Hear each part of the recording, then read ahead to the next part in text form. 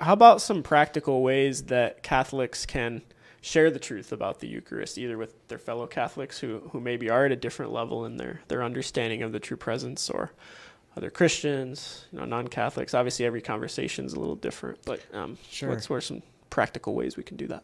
Sure. You know, I'm going to use Therese as an example. Um, she's a great friend and a great sister.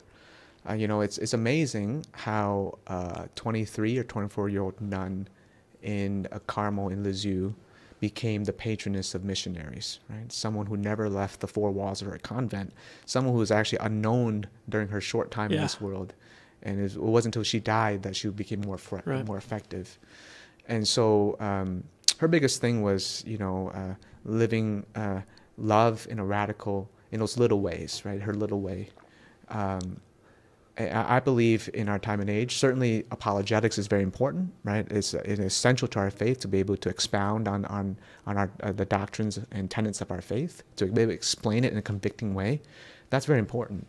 Um, but also, I, I- I do think that the, uh, uh, the way that you live your faith, the way you witness it, whether by words or by actions, I would say probably more by actions nowadays because there's a lot of words out there No doubt. especially in the communications and social media world. And those those words can be so construed. Yeah.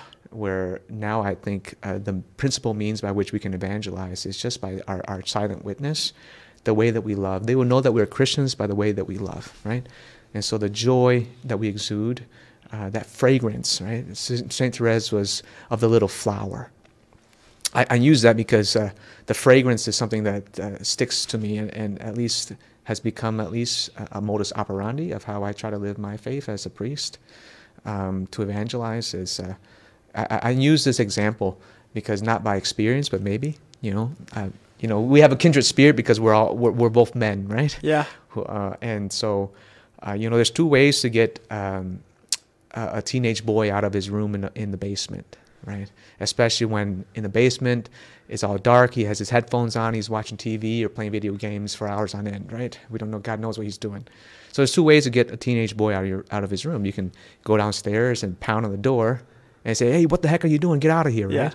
Uh, and he'll get out uh, but he'll he'll be pretty angry about it. Yeah.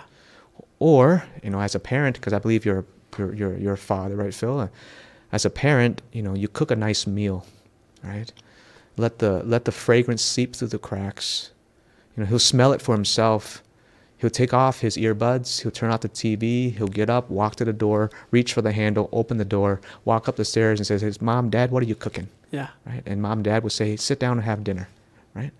And I, I think that that's a more effective way of evangelizing, especially today in today's day and age.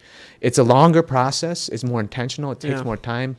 Uh, but I do think that's more effective. And so that fragrance of how, how we, we, we live our, our life, uh, our, our struggle towards sanctity every day, uh, will make a profound difference. That, that, that was the impetus and the genesis of every single movement that has transformed the world, especially in the Catholic context, from the, from the beginnings of the nascent church today.